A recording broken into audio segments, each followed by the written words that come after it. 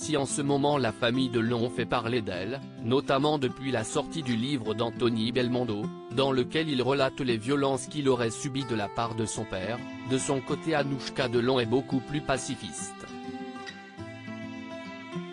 En effet, la fille de l'acteur et de Rosalie Van Bremen s'est servi récemment de ses réseaux sociaux pour honorer son père et surtout pour demander un coup de pouce à ses fans.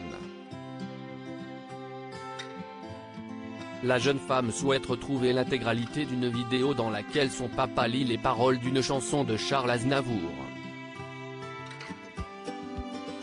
Mais ce dimanche 29 mai, Anouchka Delon a souhaité mettre une autre personne en avant, sa maman.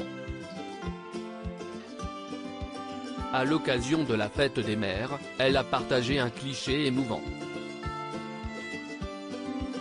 On peut ainsi découvrir une image assez rare de sa famille réunie, sa maman, Rosalie Van Bremen mais aussi Alain Delon. Bonne fête à toutes les mamans mes amis, a écrit Anouchka Delon en légende photo. Et le moins que l'on puisse dire si est que le cliché a fait mouche chez ses fans, qui n'ont pas hésité à renvoyer de l'affection à la jeune femme mais aussi à toute sa famille. Est Rosalie Van Bremen, la maman d'Anouchka Delon. Née en 1956 aux Pays-Bas, Rosalie Van Bremen est un mannequin néerlandais. Célèbre pour avoir obtenu le titre de Miss World University à Séoul en Corée du Sud, elle rencontrera Alain Delon sur le tournage du clip de la chanson comme au cinéma. Si elle est plus jeune de 31 ans, la différence d'âge ne dérangera pas les deux amoureux, qui resteront plus de 15 ans ensemble.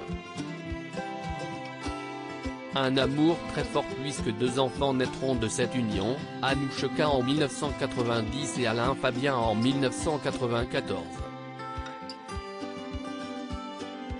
Mais en 2002, Alain Delon et Rosalie Van Bremen se séparent. De son côté, elle se remarie avec Alain Flelou, pour divorcer en 2008.